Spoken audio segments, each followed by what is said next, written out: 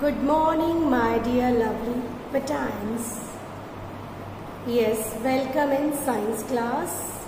In the previous classes, beta, we have completed the reading exercise question answers of lesson 5. Okay, so now today we are going to do the extra booklet, extra worksheet of lesson 5, beaks and its. Okay, so open your extra booklet and start writing. Okay, beta. Now, beta, this is lesson 5, extra booklet, birds and their claws. Look at the picture given below and answer the following question. Name the bird. Bird क्या है? That is crow. How many to toes does it have? कितनी toes होती है बेटा? Total four होती है तो right है three toes in front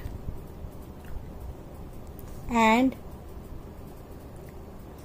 one at back कौन सा बर्ड है? This is a perching bird now name a preying bird preying bird कौन सा होगा बेटा? Eagles eagle can it sleep while perching yes it can sleep ठीक है while perching now write two functions of claws तो first क्या है? Claws help bird to hold the branch. Close help the bird to climb up the trees.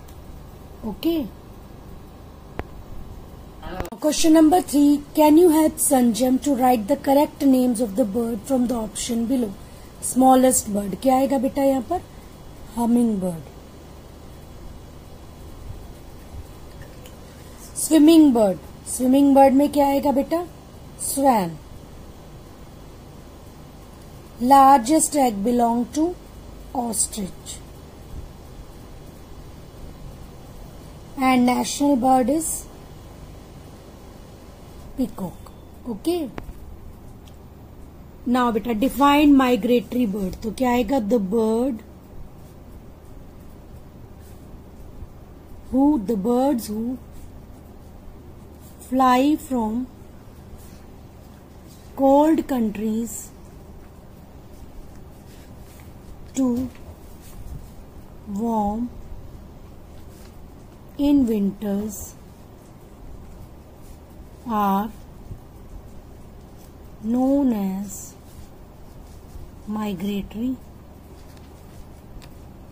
bird okay the birds who fly from cold countries to warm in winters are known as migratory bird अब इसमें से बताओ owl nest tailor birds and woodpecker owl nest कौन सा बेटा ये one tailor birds ये two and woodpecker is 3. Now question number 3 unscramble the words to reveal the names. First क्या बेटा E N S that is nest. Double I W K that is kiwi. Okay now question number 7 help Riga to solve the puzzles. Okay so national bird of the New Zealand. New Zealand का national bird कौन सा होएगा बेटा kiwi A scratching bird. Scratching bird कौन सा है? A bird that does not make its own nest koel. A house or a place of residence that is dwelling